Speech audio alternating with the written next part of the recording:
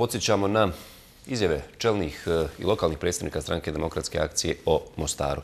Glavni argument u njihovim istupima je taj da Dragan Čović ne prihvata ništa što se predloži. Ostavlja li to je da ekskluzivno pravo Čoviću da koriguje njihov vlastiti prijedlog za Mostar? Prijedlog SDA za Mostar proučio je predsjednik HDZ-a Dragan Čović. Lider HDZ-a prekrižio je stavke koje mu ne odgovaraju. Prvo što Čoviću nisu odgovarale su, kako ih u SDA nazivaju, gradske zone, odnosno općine. Primjedba HDZ-a u ovom dijelu je bila da se ne slažu s tim da centralna zona ulazi u zonu starog grada. Tražili su da centralna zona ima isti status kao što ima i sada, odnosno da ostane pod direktnom upravom grada. Taj niži nivo organizovanja, bilo to bile gradske zone ili gradske opštine, kako bi se zvalo, to nismo usaglasili bilo, znači, ali bi e, bilo da ima, znači, i predstavničku i, onaj, i izvršnu vlast. Da taj predstavnik izvršne vlasti potpisuje upravne akte i akte iz ovih, znači, urbanističkog ovoga dijela.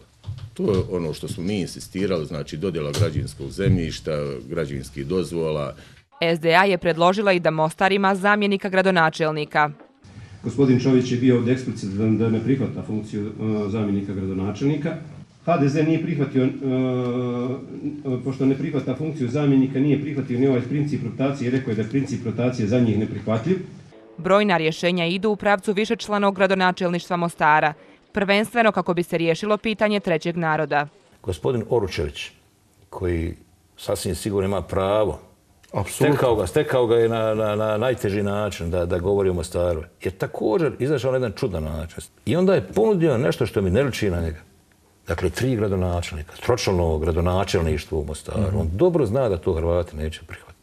Dakle, neka idealna rješenja u neidealnoj situaciji. Čini se kako u SDA mnogo više brinu o tome šta je to što odgovara Čoviću, Umjesto da osiguraju usvajanje najkvalitetnijeg rješenja, prijedlog SDA bio je i da se rješenje za Mostar usvaja kao federalni zakon. Gospodin Čović je, dajući primjedbe na naš, na naš e, prijedlog zakona, predlagao da se to radi kroz Skupštinu e, Hercegovačko-Neretvanskog kantona. I brojne su još primjedbe koje je imao Čović.